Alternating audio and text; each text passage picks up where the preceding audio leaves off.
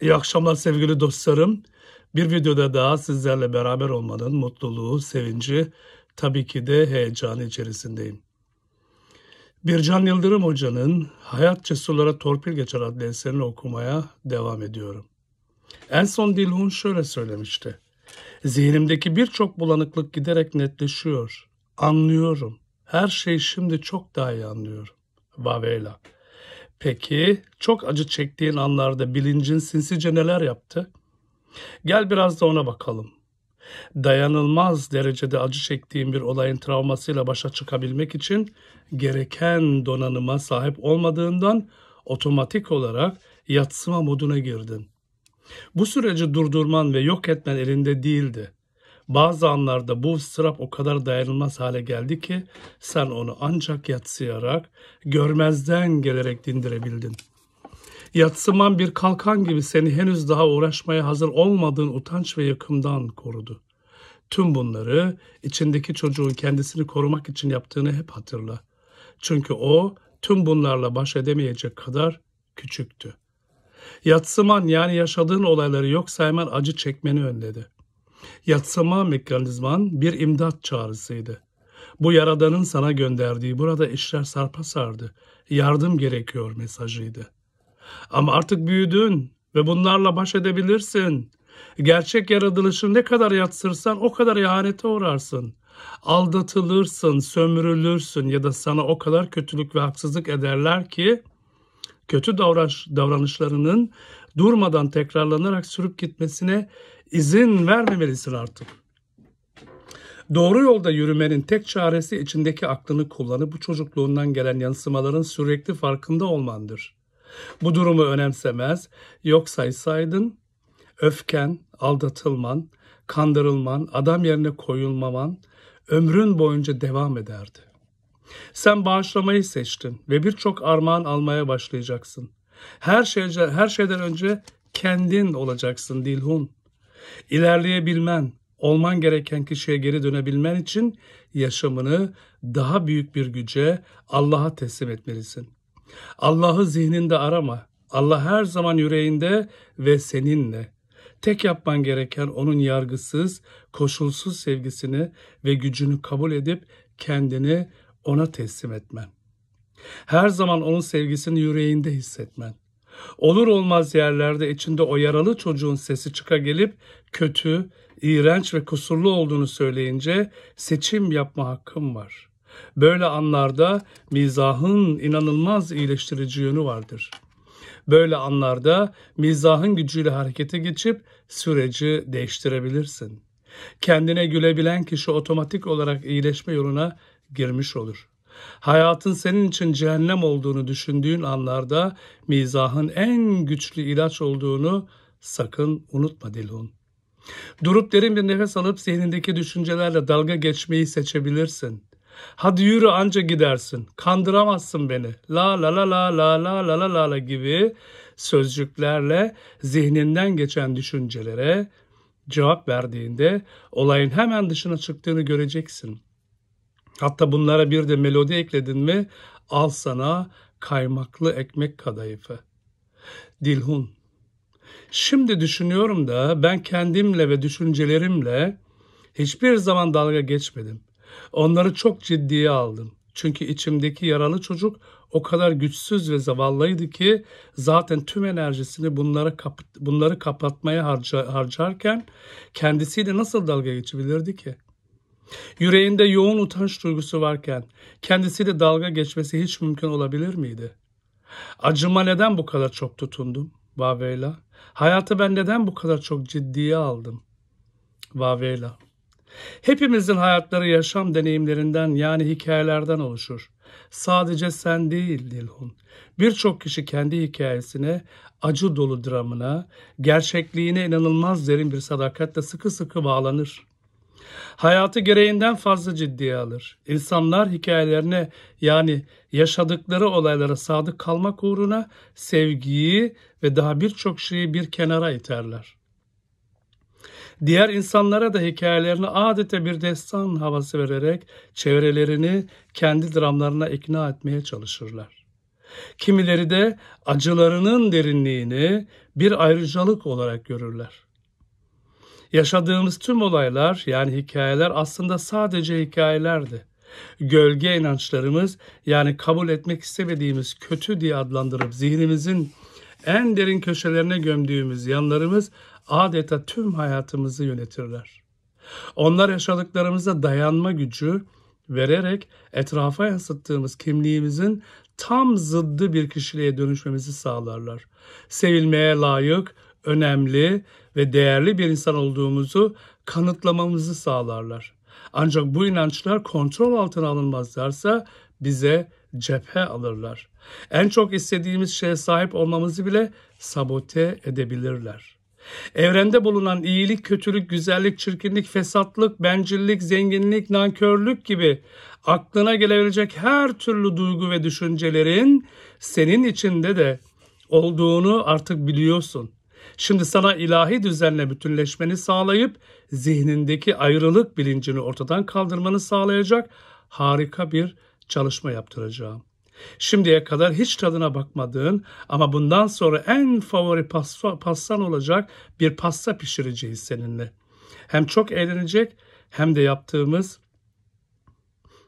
hem de rahatlayıp güçleneceksin. Bunu şimdiye kadar seninle yaptığımız tüm çalışmaların bir toplamı en üst versiyonu olarak düşünebilirsin. Bu pastanın tadına bakarken dikkat et parmaklarını yeme ama olur mu? Dilhun, ay bu şimdi beni gerçekten çok heyecanlandırdı. Hazırım, hadi başlayalım o zaman Vaveyla. Hadi gel o zaman, diyor Vaveyla. Şimdi önünde kocaman bir tencere bulunduğunu hayal et. Sonra içinde olanı iyi kötü diye ayırt etmeden tüm duygularını, yaşanmışlıklarını bu büyük tencereye koymanı ve iyice karıştırmanı istiyorum. Öfke, kin, sevgi, nefret, merhamet, hoşgörü, aldatılma, sevgi, başarı ne varsa hepsini doldur doldur. Hiçbirini dışarıda bırakmadan. Şimdi de hayalini kurduğun, yaşamında olmasını istediğin her şeyi pastanın içerisine tüm ayrıntılarıyla eklemini istiyorum. İş, eş, sevgili, para, sağlık, çocuk gibi yaşamın her alanıyla ilgili sahip olmak istediğin her şeyi. Tencere çok büyük. Hepsini alır merak etme. Şimdi bir tutam ben de varım ve gücüme inanıyorum düşüncelerini de ekle. Hepsini büyük bir kepçeyle şöyle güzelce bir karıştır. Oh ellerine sağlık nefis kokuyor. Mis gibi oldu. Şimdi bu hamuru büyük bir tepsiye döktüğünü hayal et. Gördün mü bak? Harika bir kıvam oldu. Şimdiye kadar defalarca denediğin ama asla elde edemediğin harika bir kıvam. Hadi şimdi parmağını hamura batır ve tadına bak. Bakalım beğenecek misin? Yaşamın boyunca çektiğin tüm sıkıntıların büyük çoğunluğu buradan kaynaklanıyor. Dilhun, şimdiye kadar hep tarifindeki sevmediğin malzemeleri çıkarttın, daha iyi hissedeceğine, daha lezzetli olacağına inandın. Beğenmediğin, kabul etmediğin duygularının pastanın lezzetini bozacağını düşündün. Sahip olamayacağını düşündüğün parayı, başarıyı hamurundan hep uzak tutmaya çalıştın. Gerekli olan sadece her şeyi usulüne göre karıştırmak ve akıllıca kullanmak. Dilhun. Bu acayip lezzetli bir pasta oldu. Bayıldım bu tada. Vavela. Hep olmak istediğin sen olabilmen için hamurundaki her malzemeye ihtiyacın var. Hamurunun içinden beğenmeyip ayıklamaya çalıştığın malzemeleri sakarlığın, şişmanlığın, suçluluk duyguların, kıskançlığın sen çıkardıkça hamurunun kıvamı giderek bozulmaya ve tutmamaya başladı. Ancak tüm malzemeleri kabul edip karıştırdığında hayalindeki en iyi sene ulaşabileceksin. Yıllarını başka biri olmaya adadın. İçindeki yaralı çocuğu o tarafa bu tarafa çekiştirip durdun. Şimdi yapman gereken tek şey bu çabayı durdurmak. Atladığın ayrıntı ise bazen en zıt bir malzemenin tarifin içinde yer alması gerektiğiydi. Mükemmel bir pastada az miktarda tuz kullanılması gerektiğini unutma. Şekerini abartırsan hamurunu sulandırabilirsin. Acılarını, sevinçlerini, şimdiye kadar yaşadığın tüm deneyimlerini ve hissettiğin tüm duygularını malzeme olarak kullanmalısın. Dış dünyada görmek, deneyimlemek istediğin her şeyi önce içinde hissetmeli, onun var olduğunu kabul etmelisin. Bu yüzden maddesel anlamda dış dünyadaki her şeyi önce içinde düşünmelisin. Yakalamaya çalıştığın şey senden kaçar. Ancak sen onu içinde hissedersen, zaten ona sahip olduğunu kabul edersen rahat olursun ve direnci kaldırırsın. Bu yüzden evden planladığın seyahatlere, ruh eşine, düğün törenine kadar her şeyin zaten içinde hamurun malzemelerinde bulunduğunu unutma. Eğer sen onlara dış dünyada sahip olamayacak olsaydın hayal edemezdin bile. İyi bir evliliği, aşkı, başarıyı veya kariyeri hayal ediyorsan unutma bu senin de zaten hamurunda olduğu içindir. Hamurunda olmayan bir şey asla hayal edemezsin. Ben mesela Dilhun hiçbir zaman iyi bir balerin olmayı hayal etmedim ama iyi bir girişimci olmayı her zaman hayal ettim. Çünkü balerin olmak için gerekli malzemeler hamurumda yoktu ki. Nasıl hayal edebileyim? Hayallerinin gerçekleşmemesinin tek sebebi onların zaten içinde olduğunu unutman. Onları aramaya, yakalamaya çalıştın. Mücadele ettikçe uzaklaştın çünkü kendinden uzaklaşıp dışarılarda aramaya çalıştın. Malzemelerinin gerektiği şekilde hamurunun içinde yer almasına izin verirsen fırından çıkacak. Sonuç senin hep hayalini kurduğun hayatı sana sunacaktır. Unutma, acının derinliği alman gereken dersin büyüklüğüyle orantılıdır. Tüm yaşadığın olaylar kendinin bir üst versiyonuna ulaşman için gereklidir. Tarifinin herhangi bir kısmından nefret edersen onu sürekli yaşamına çekersin ve acı çekersin ve acı yaşarsın. Başına gelenlerin yanlış, yanlış olduklarına inandığın sürece bu tür acıları yaşarsın ve acılarla beraber sürekli kendine işkence çektirirsin Dilhun. Dilhun şöyle cevap veriyor. Bir an düşündüm de önümdeki 40 yıl boyunca hamurumdan bazı malzemeleri ayıklamakla uğraşabilirim. Veya tüm acılarımı, zaferlerimi, kalp kırıklıklarımı ve sevinçlerimi içine katıp ben adlı büyülü karışımı elde edebilirim. Şimdi geçmişime dönüp tarifimden atmak için çabaladığım parçalarıma bakmak istiyorum. Genelde malzememde kullanmak istemediklerim ben yeterince iyi değilim. Bende bir hata var önemsenmiyorum. Zavallı ben. Kimse beni sevmiyor. Yeterince iyi değilim. Buraya ait değilim. Çok aptalım, beceriksizim, değersizim, hak etmiyorum, istenmiyorum gibi malzemeler olduğunu görüyorum. Hamuruma koymak istemediğim malzemelerimin ne kadar gerçek ve doğru olduğunu kanıtlayacak hikayelerimi tekrar edip durduğumu görüyorum. Vabeyla. Hikayelerine takılı kaldığında düşüncelerin çok farklı şekillerde yer alır. Gölgelerine takıldığın her an hikayene de takılıyorsun demektir. Hikayelerine takılı kaldığın sürece de logosun sesini duyamıyorsun.